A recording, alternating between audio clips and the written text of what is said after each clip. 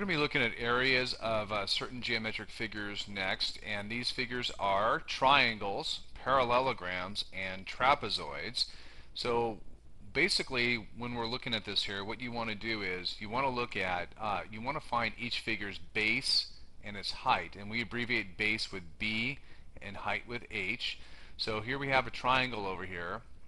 The base is the bottom, the height is the is from uh, it's a right angle from the base straight up to the highest point of the figure. So we have the base and the height and for a triangle the formula is area equals base times height and then divide by 2. Uh, for a parallelogram remember a parallelogram is a, is a figure it's four sides where the bottom and the top side are parallel to each other and then the sides are parallel to each other as well and in this case, the area is simply base times height. That's it, base times height. And finally, we have a trapezoid. And if you recall from our earlier toolkit, that a trapezoid is a four-sided figure where the top and the bottom are parallel to each other. And the formula for this is a, is a little bit different. What we do is we take 1 half or 0.5 and we multiply it by adding the two bases together we have base 1 on the bottom and base 2 up here, or vice versa, it doesn't really matter which one is base 1 and base 2. And then we multiply that by the height. So let's do this. Uh, why don't you pause this for a minute and go ahead and copy down all the figures and the formulas and so forth, and then unpause it, and I will show you how to do this with a few numbers instead.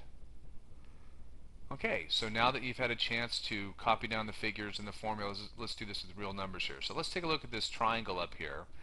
And let's suppose that the uh, base is 12 centimeters and the height is 8 centimeters. Here's how you'd find the area. It's this simple. You take the base times the height, base times height. So it'll be 12 times 8, 12 times 8, and then you divide by 2.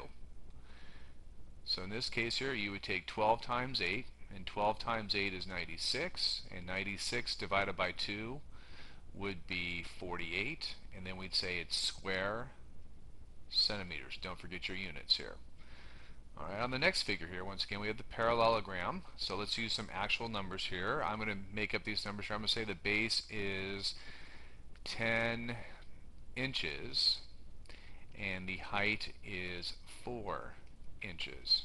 In this case the area would be simply base times height. It would just be 10 times 4 and that is 40 and we would say inches squared or if you prefer like I did up here you could say square inches it's up to you. So that's the answer for the second one. And then finally here let's go down to the last one. Make up some numbers here. So let's say the bottom base in this case is base 2 let's say this is 7 the top base is 5 and the height is 3. So what we would do is this. We'd say the area is 0.5 or 1 half. I'm just going to write 1 half over here, same difference. I'm going to add the bases together, 5 plus 7, and then multiply by the height. So in this case it would be 1 half. Let's add these two together. 5 plus 7 is 12. And then times 3 on the end. Half of 12 is 6, so this becomes 6 times 3, and finally we get 18. And since units were not actually used here, like before we had inches or centimeters, we're going to say it's, it's square units, since we don't know what the units are. So that's how you find the area of a triangle, parallelogram, and trapezoid.